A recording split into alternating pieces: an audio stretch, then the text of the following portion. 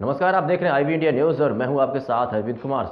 खबर सीतापुर से है, जहाँ सराय नदी को साफ़ करने का नगर भाजपा विधायक राकेश राठौर ने बीड़ा उठाया है। एक अक्टूबर से लगातार चलता आ रहा सराय नदी का सफ़ाई अभियान कार्यक्रम, नदी का सफ़ाई अभियान, और विधायक ने बीड़ा उठाया, जिसके लिए मुख्यमंत्री से मिलने की भी बात नगर विधायक राकेश राठौर ने कही है। एक नई पहल सराय, सरायन नदी के साफ़ होते ही सीतापुर शहर को एक नई दिशा मिलेगी। एक नई उमंग लोगों को मिलेगी कई समस्याओं से निजात मिली। जानकारी के अनुसार, नगर भाजपा विधायक राकेश राठौर ने पिछले साल नदी की थोड़ी सी खुदाई में मीले स्रोतों से लगाया था। अनुमान जल प्रवाह से नदी अपने बैग से बह सकती है।